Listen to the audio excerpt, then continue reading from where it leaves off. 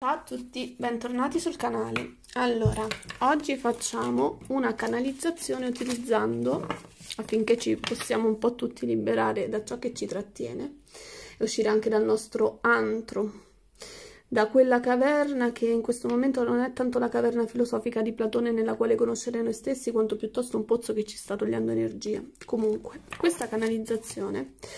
Um, secondo me risulterà uh, spunto di riflessione per molti, per molti di noi, mi metto anche io dentro. Uh, l'argomento qual è? Allora ve lo contestualizzo un attimo. Praticamente ci sono delle situazioni dalle quali noi vorremmo staccarci, uh, ma perché abbiamo capito profondamente che è il caso di lasciarle alle spalle dobbiamo andare avanti senza rancori. Portiamo quell'amore che abbiamo provato nel nostro cuore, però non deve essere più un blocco, né deve essere un alibi, né una scusa, né un qualcosa che ci trattiene e ci um, impedisce di uh, progredire e di procedere lungo la nostra strada. Cosa accade però? Proprio quando ci mettiamo a lavorare per staccarci perché abbiamo deciso di andare avanti, succede qualcosa per cui quella persona, quella situazione ci torna sempre dinanzi agli occhi, incontriamo sempre il suo volto, ogni cosa ci fa pensare a lei, a lui, un numero, un nome, o una sincronicità, un ricordo. Allora, quello che chiediamo alle carte. Perché ogni qualvolta che io sto per rimettermi in cammino mi torni sempre in mente. Cosa devo imparare? Ovviamente l'intenzione per chi segue questa canalizzazione è quella di volersi comunque rimettere in marcia. Quindi vediamo perché quando siamo lì lì per riprendere il nostro cammino, comunque arriva di nuovo quella catena a tirare più di prima. Cos'è che dobbiamo imparare? Vediamo un pochino. Vediamo un po'. Facciamo così. Prendiamo questa quantità di carte. Cosa dobbiamo imparare? Perché ogni volta che sono lì a riprendere la mia strada, convinta, convinto, carica, piena di energie, poi mi blocco perché mi torna in mente. Cosa devo imparare? A non perdere di vista l'orizzonte. La prima cosa che devi imparare, che il primo obiettivo sei tu per te stessa, te per te stesso, l'ideale che vuoi raggiungere. Lo devi avere sempre dinanzi ai tuoi occhi, anche quando tra te e il raggiungimento di quell'ideale nel mezzo avresti mille scuse, mille alibi. Ah no, devo fare mille cose, devo prima fare questa telefonata, devo chiudere questo rapporto, ci sono le bollette da pagare, no, però vabbè lo farò, o rimando, no, non è più il tempo di rimandare. L'unica cosa che puoi fare è che quando proprio ti senti ferma, non riesci a procedere, allora resta con lo sguardo fisso però all'orizzonte. Cioè non ti negare la consapevolezza di quello che devi fare anche nel momento in cui non hai la forza, non hai la voglia e non hai forse neanche l'intenzione effettivamente di farlo. Perché tanto dentro di te quell'obiettivo non sparirà mai e se tu cercherai di negartelo, di soffocarlo, inizierà a farti soffrire. Perché? Perché vuole nascere, vuole vedere la luce, vuole che tu diventi finalmente finalmente l'ideale di te stessa. Perché quello che ci deve attrarre verso il nostro orizzonte, quello che ci deve rimettere in cammino, non è assolutamente l'amore per un'altra persona, è innanzitutto l'amore per noi stessi. Spesso noi non ci muoviamo perché? Perché tra il pensarlo e il realizzarlo vogliamo una motivazione valida razionalmente che ci spinga a farlo, che ci dia garanzia del successo. Eh no, il cammino, il cammino lo devi intraprendere, lo capirai solo una volta terminato. Nessuno ti può dare garanzia prima di averlo intrapreso. Ogni volta che mi metto finalmente in testa di andare davanti c'è qualcosa che mi fa ripensare a te. Cosa devo imparare?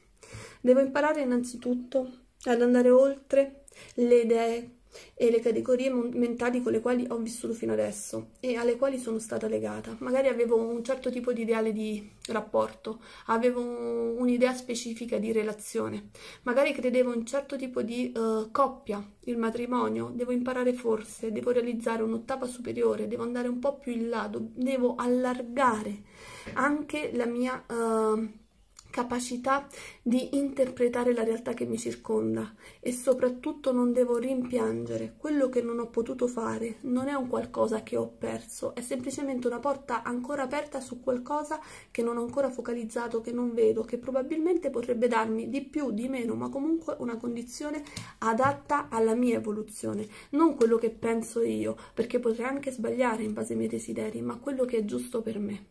Cosa devo imparare? devo imparare che spesso non ci si libera da soli. Questa condizione di appeso, di sacrificio volontario, a volte se fosse lasciato veramente semplicemente al nostro libero arbitrio, potrebbe protrarsi chissà fino a quando. Ci sono degli eventi della vita che a un certo punto ci costringono necessariamente a rimetterci in cammino e quando saremo comunque liberati e resi autonomi dal destino, cosa faremo? Continueremo a guardare a quel passato che ci ha fatto soffrire, a tutte quelle situazioni che ormai sono andate in fumo rimarremo girate e daremo ancora le spalle a quello che è il nostro futuro, a ciò che ci sta chiamando. Perché in questo momento alle nostre spalle, per quanto ci vogliamo um, rassicurare o convincere o ostinatamente uh, per quanto vogliamo rimanere sulla nostra posizione che non ci farà progredire, c'è ancora fuoco, c'è ancora qualcosa che non funziona, c'è ancora qualcosa di non risolto e per quanto riguarda questa incarnazione tra noi e quel qualcosa di non risor- risorto, no, risolto, che risorto è anche un bel lapsus, ci sono delle montagne, cioè degli ostacoli difficili da valicare, ma soprattutto non sono quello che dobbiamo fare in questa incarnazione. Perché ogni volta che ci mettiamo in cammino poi mi fermo è perché resto legata ai ricordi, perché ogni qualvolta che io mi riprometto di andare avanti, e decido di metterti tra le cose belle che mi sono accadute per riprendere in mano la mia vita, poi però cosa fa? L'argomento torna sempre sulla stessa questione e sono io a riaprire sempre quelle questioni perché sono io che effettivamente non sono riuscita ancora a dare un taglio. Forse devo capire una cosa, dare un taglio non vuol dire dividere due cose per sempre, quando si partorisce, se una madre si ostinasse a non dare un taglio a quel cordone umbilicale, alla fine ucciderebbe quella nuova vita. Io devo capire l'amore, devo imparare l'amore a prescindere, che è l'amore materno. Chi meglio di una madre può sapere cosa si prova quando ti tolgono di dentro, ma di dentro materialmente, un corpo che hai creato tu, che fino a due minuti fa palpitava il suo cuore vicino al tuo cuore, come può essere una qualsiasi relazione passionale d'amore amore, farlo uscire, farlo nascere, tagliare quel taglio netto e dargli l'indipendenza con le sue gambette di potersene anche andare. Solo una madre può capire e la prima cosa a cui siamo chiamate in questa vita è imparare ad essere madri, sia che si abbia o non si abbia un figlio concretamente, perché una donna è madre di tutto ciò che ama. Ogni volta che devo mettermi in cammino, perché mi fermo? Perché continuo a temporeggiare.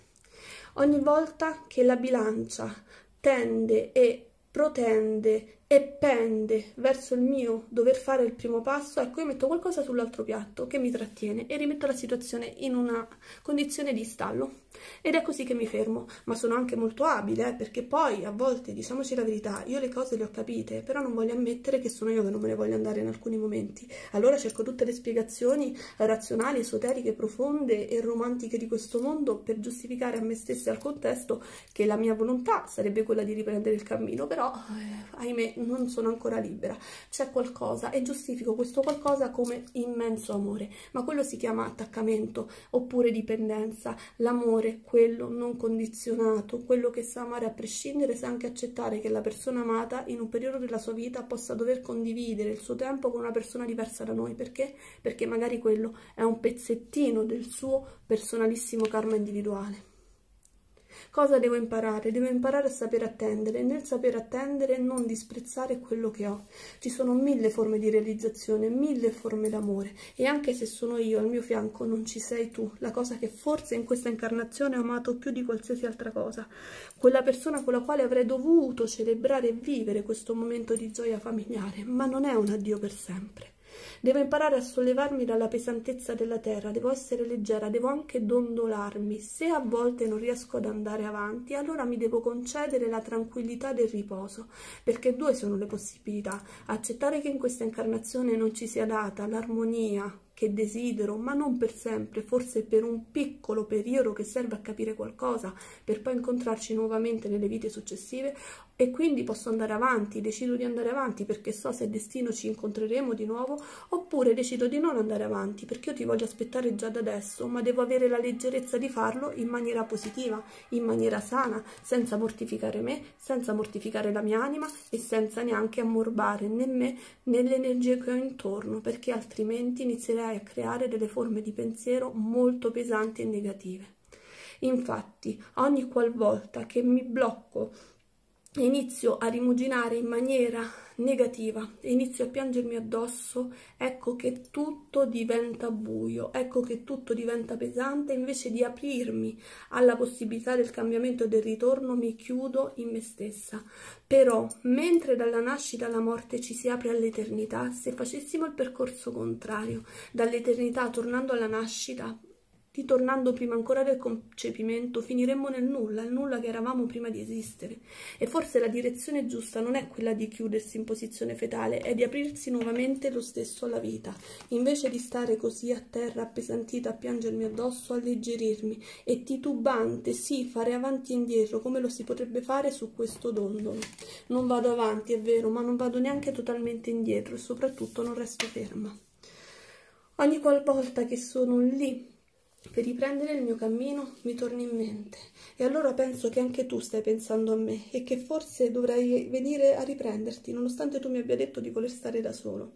E a volte credo che magari uh, è stato un errore mio ed è colpa mia Ecco, questo è un altro piccolo errore che probabilmente faccio, perché se tu mi hai fatto capire che in questo momento hai bisogno di riflettere, a prescindere da quale sia il motivo per cui tu debba riflettere, a prescindere da qualunque sia il motivo che ora ti trattenga lontano da me, io dovrei imparare a lasciarti andare, dovrei concederti la tua solitudine, perché non posso impedirti di realizzare delle prese di coscienza che fanno parte comunque del tuo risveglio, perché come sono in cammino io, sei in cammino anche tu perché ogni volta che sento di poter ricominciare mi blocco. Cosa devo imparare?